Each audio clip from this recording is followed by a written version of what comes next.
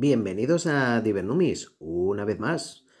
En el día de hoy veremos tres monedas bastante antiguas de Polonia. Eh, ¿Qué tiene de atractivo Polonia? Bueno, pues em, nada en especial, al menos para mí. Digamos, todas las monedas me interesan.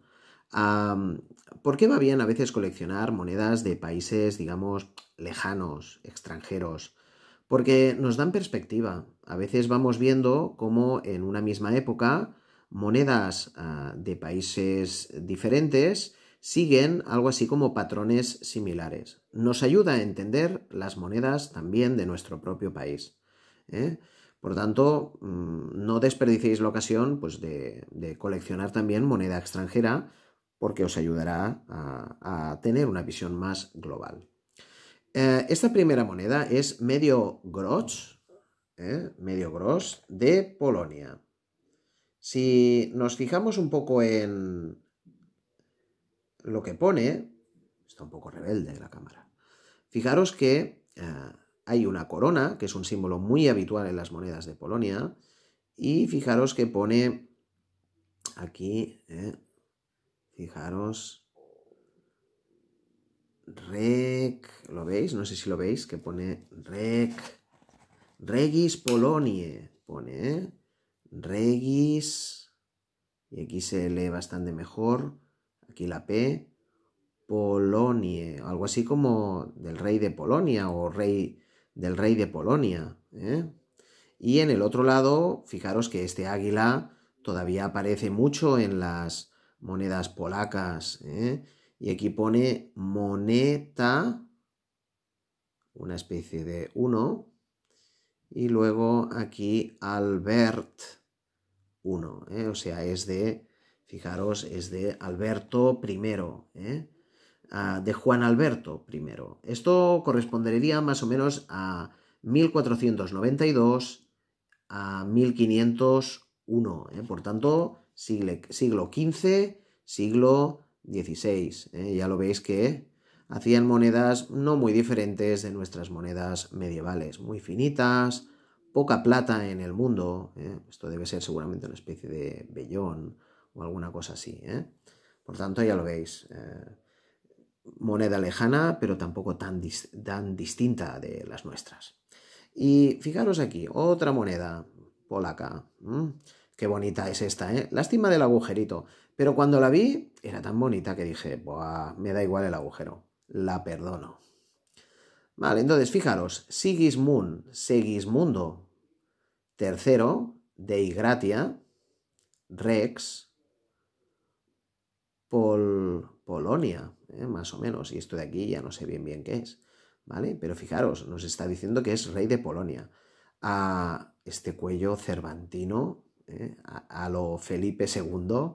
Es impresionante, ¿eh? el retrato muy bonito, se le ve todo. Es, muy bonito este. Yo cuando lo vi, dije, esto tiene que ser mío. Y no me costó nada, ¿eh? la compré en un mercadillo, imaginad.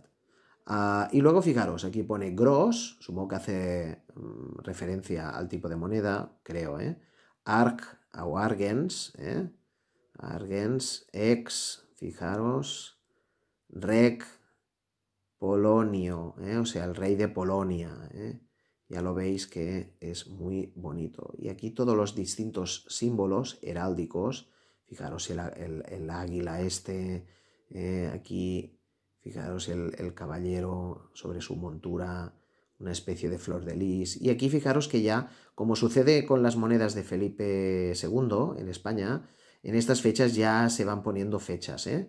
en estas épocas. 1600 pelao, 1600. Eh, fijaros, por tanto, que es una moneda magnífica, preciosa. ¿eh? ¿De acuerdo? Es maravillosa. Vamos a ver otro caso. Esta es divertida. Fijaros.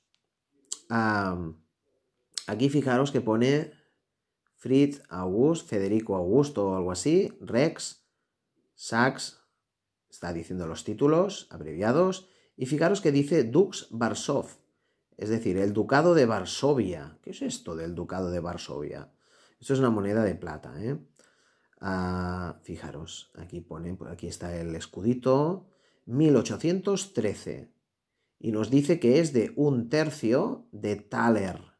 El taler es una moneda muy conocida, digamos, es, podríamos decir que del taler vendrá el nombre de dólar. Era una moneda que tuvo mucho prestigio comercial en el centro de Europa y en medio mundo.